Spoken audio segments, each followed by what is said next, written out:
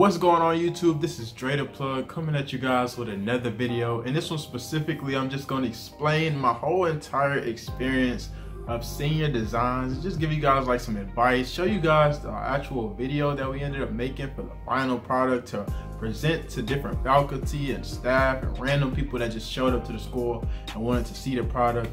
So overall, my best advice that I would tell people going into senior design, just so people know, they'll have like electrical, they'll have computer, and they'll have computer science. Pretty much, they're always in like the same realm when it comes to senior design. Then they'll have mechanical, and pretty much all the other type of engineers pretty much like separate to do their own thing. But specifically, all of the tech majors they like come together and they'll break them off into different groups, and they have to basically come up with a project or come up with a way to basically solve a problem as a project and that's pretty much what you have to do over a course of a whole year like your senior year and basically make a product or make some type of item that can solve a problem. So the best advice like i would give to people is a you should definitely have like somebody who's nice with computers somebody who knows how to code someone who's good at like hardware or like wiring in general when it comes down to electricity or just even how to operate like a microcontroller. So like basically those main concepts, if you could knock those out easily, senior design will pretty much just be a cakewalk. So definitely look into those. Those are like the main things that you need to focus on. When it comes down to like getting your items, the stuff you need to buy for your senior design project, like you are, you should already have that stuff ready and uh, trying to get them to you as fast as possible. Because when I tell you, like senior design go by so fast, and before you know it, it'll be time for you to present your project. Like it's so quick, and over a course, the stuff getting ordered.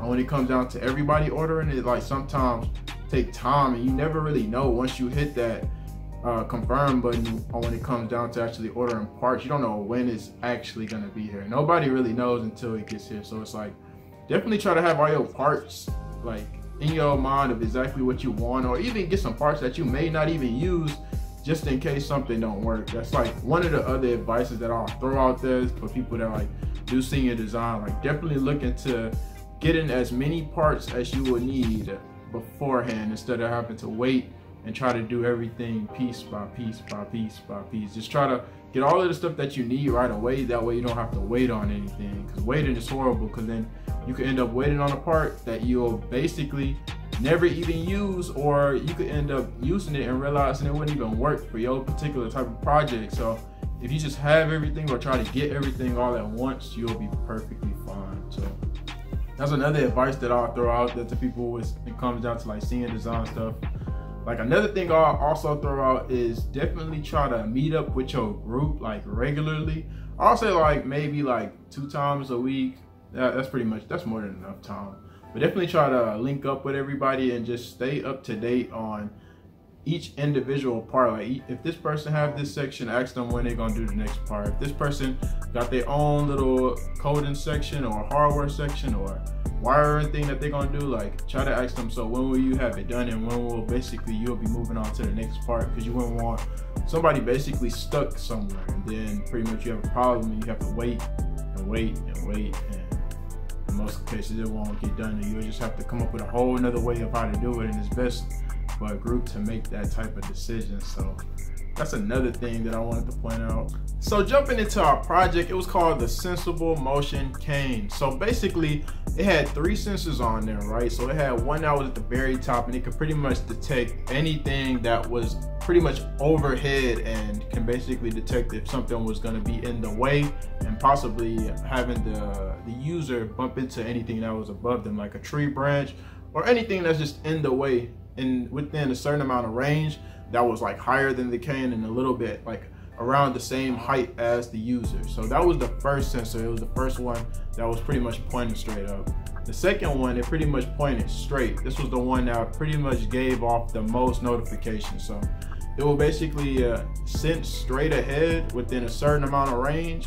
And every single time that somebody got in the way or somebody was just would just walk across it, it'll just go off and basically vibrate the actual cane and it'll also make a ringing noise to basically let the person ahead of them know like you need to move out of the way.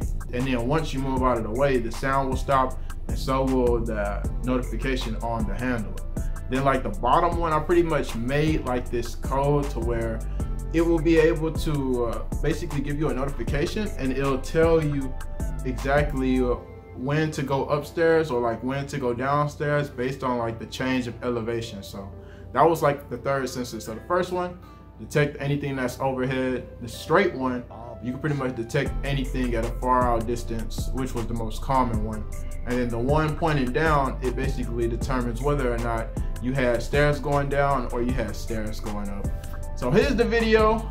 Let me know what y'all think. And I'm out.